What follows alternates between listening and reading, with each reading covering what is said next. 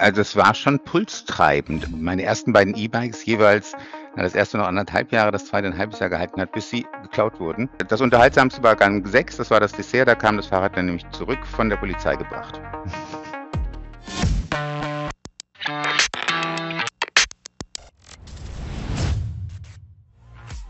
Also es war abends äh, vor einem Restaurant. Das Restaurant hat eine Terrasse. Die Terrasse war gut besucht.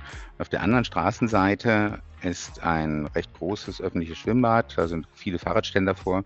An diesen Fahrradständer war das mit einem vernünftigen, keinem erstklassigen, aber einem vernünftigen Kettenschloss angeschlossen. Ähm, wie gesagt, Ter Besucherterrasse war voll.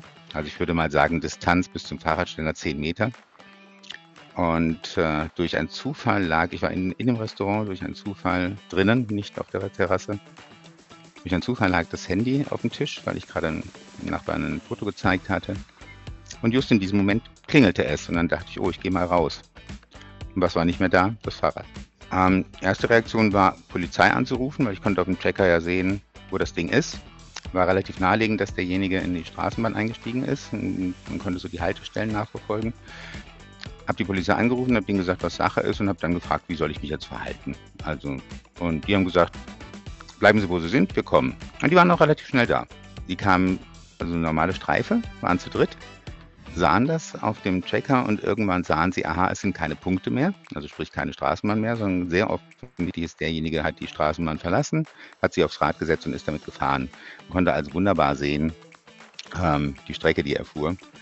Ähm, woraufhin die dann die Zentrale angerufen haben und die Zentrale hat gesagt, sie sagen mal den Kollegen rechtsrheinisch vor Ort Bescheid. Ähm, nach einer Weile haben die beiden sich untereinander kurz geschlossen. Ähm, und, wo, und, dann wurde die andere, der andere Streifenwagen dirigiert. Jetzt wird er links, jetzt wird er rechts, jetzt wird er links, jetzt wird er rechts. Ähm, ja. Und irgendwann wurde es auf der anderen Seite der Leitung laut. Und dann war eigentlich relativ klar, okay. Sie haben ihn leider nicht bekommen, aber ich habe mein Fahrrad zurückbekommen.